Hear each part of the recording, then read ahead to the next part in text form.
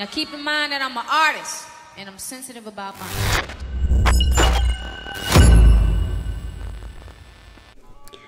My name is Mish, and this is Sound and Color. This is going to be a visual art series where you follow me working on visual art and pairing it with a collection of music.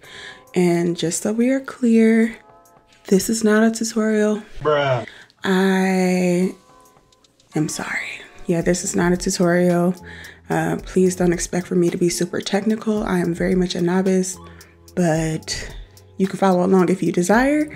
I will do my best to provide all the materials that I use in the description box. If you're not familiar with me, since about 2018, I've been pairing visual art with my playlist that I make in Apple Music, and it did start with a desire for me to just have better looking cover art for my playlist, but it did evolve into something else.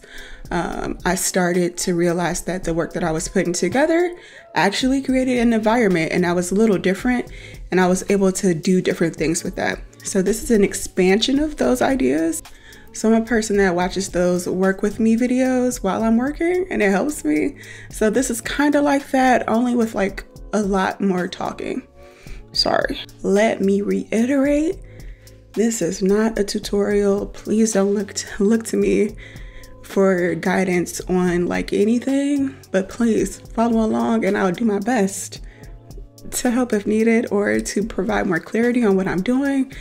Honestly, if you're watching this and you like want to see more content like this, please let me know what you'd like to see because I don't know. What we're going to do from here is jump into my desktop and we're going to go over Apple Music and also Adobe Photoshop.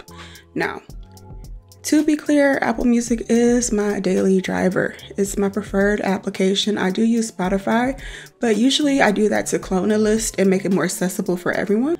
So here we are on my desktop, and this is actually the playlist that we're working on for this episode. So let's do a quick review. So, first, here we are with this tiled artwork that I absolutely hate for the cover.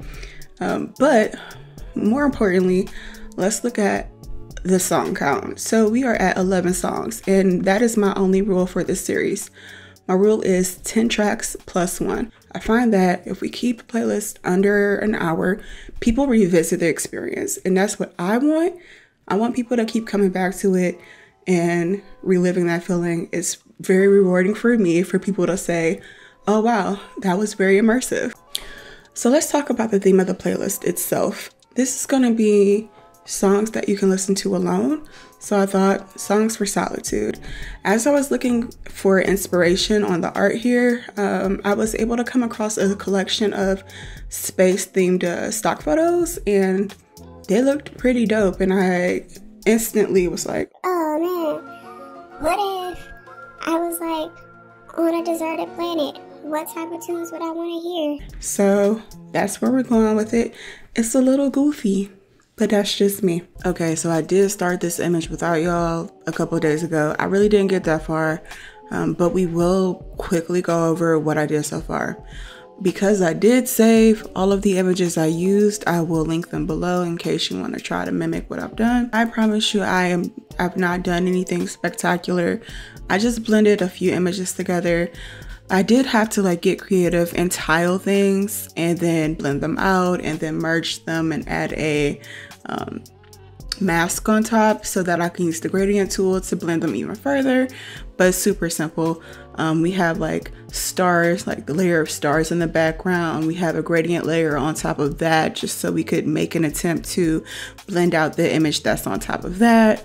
I do have a levels adjustment layer here so that we could just bring some more depth to the image and it didn't feel so like flat and strange and just unnatural. We want to try to make it match up a little bit.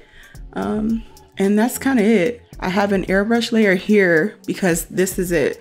The airbrush layer is really like hiding the flaws and shout out to this layer because it really is doing the work.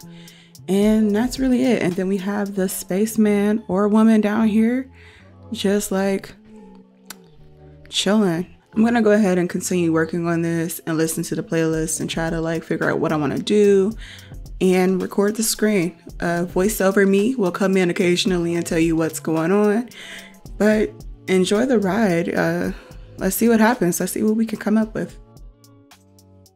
All right, so first things first, I am extracting the background from this image that I want to use. Now, there are plenty of ways for you to achieve this. I just don't trust the like software to do its job. I find that sometimes it misses things and I'd rather just get it as clean as possible on my first try. So I use the pen tool for that. It is super crispy. I was a little concerned at this point because I wasn't sure what the heck I was gonna do. I just knew that I wanted this photo to take up the top portion of the document and I'm like, man, I want this to look good and not look corny. So right here, I'm not gonna hold you. I was panicking because I wasn't sure what I was doing. What I can say very confidently is I knew what I was trying to do, which was to adjust the color on that image. It was like all of these images were not from the same photographer. Um, there were some that were completely different environments. And I'm trying to blend them together to create something new. So I wanted to make sure that the lighting kind of made sense. And that's a new thing that I've been working on this year is adjusting the color and some of these things. That requires you to get into the curves, get into the levels, get into all of these things that I really don't know about, um, but you don't know until you try something. So experiment. It's fun. You can learn something. Alrighty, and earlier you saw me make these tentacles with a pen tool. Super simple to make. You just like make a line and stroke the path and simulate pressure and it'll give you this nice little effect.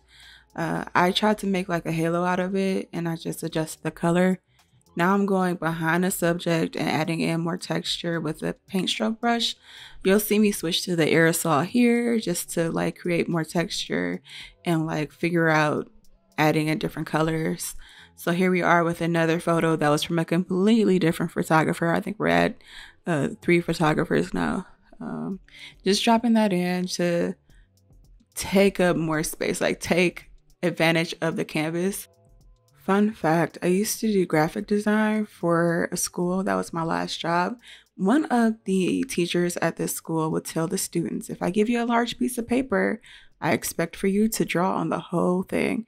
And that's the approach that I'm taking with this canvas. It is 18 by 24, pretty large size canvas, 300 dpi, and it's poster size. So I'm just trying to take up as much space as possible in the event that I would want to print it. Yo, be better than me. Label your layers, group them together, especially if you plan on collaborating with someone else. Like me, myself, I usually just work for myself and with myself. So I don't really label my layers as well as I should.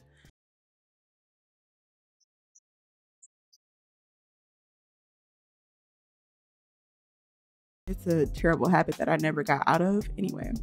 In the event that you have to move something around, you might want to label your layers. Um, it is also hard to find things when things are not labeled correctly.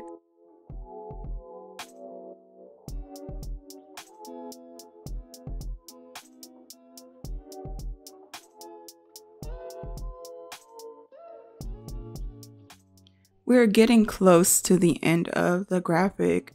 When I started, I was not sure what the heck I was going to do. I also thought I bit off a little more than I could chew as I started working and realized, like, oh no, it's going to take a lot more clicks than I anticipated. Um, lots of blending, loads of blending.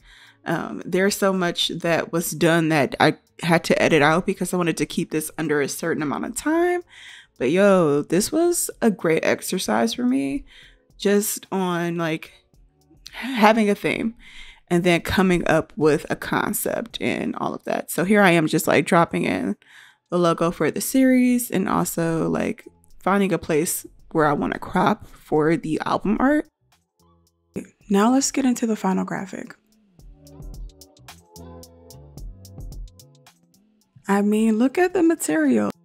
I love it, and that's kind of rare. I'm typically a person who hates everything that they do, but I feel really good about this. A lot of the little goals that I have for myself, I was able to go ahead and knock it out. So I created a concept out of nowhere, found elements to tie that together visually, and then I went and found the songs to support the vibe. If you're interested in hearing what this sounds like, go ahead and look in the description box. I've put in the links to both the Apple Music and Spotify playlist and jam out to those. This is the end of episode one. I think we did it. I'm kind of, I'm kind of shocked at how I was able to piece that together. Again, this is one of my favorite things that I've made in a long time and I feel good. I feel proud of the thing that I've created, um, both in Photoshop and with this video. I wanted to make a cohesive thing happen, and I did that. If you're interested in more of this kind of content, please like, comment, and subscribe. In the comments, let me know what you're feeling. Is there something that I can tweak on the next episode? What improvements would you like to see happen? Now, if you're interested in knowing why I chose the songs I chose, meet me over on Patreon. Right now, I'm offering a pay what you can system with tiers starting at $2. So it's mad affordable. Just come through and chill. This weekend, I'll go ahead and post an after show on Patreon just to show you guys what my thought process was when I selected each song and how each track fits into the image itself. It's gonna be kind of corny, very stripped down in comparison to what this is, but you know, let's have the conversations we need to have. And with that being said, I think it's a good time to close this thing right on out. I've had all of the technical difficulties in the world today, and I just want to not be doing this anymore. Like I would say on Adobe and Chill, I'll see you next time. I'm not sure what I'm gonna make, but it'll be something.